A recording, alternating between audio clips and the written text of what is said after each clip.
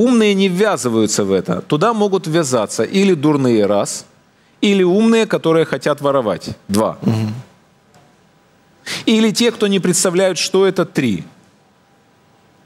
Зеленский Виталий э, президент Виталий Кличко из какой не категории, по-вашему? Не Он же пошел президентом. Зеленский как да. президент однозначно, э, Из какой из трех категорий однозначно человек, вами? который хотел и хочет, чтобы ему были установлены в Украине памятники. Однозначно.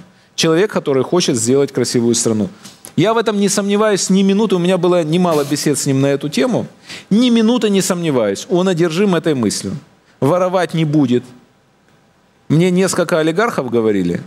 Они к нему приходили на встречи и говорят, ну что?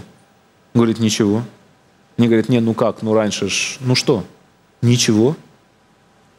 Не, ну подождите, ну давайте поговорим. Что? Ничего. Это человек, который не будет брать взятки, уверен в этом. Который не будет заниматься коррупцией. Он богатый человек, он заработал себе, когда был в шоу-бизнесе. Заработал очень много, очень много головой своей, умненькой.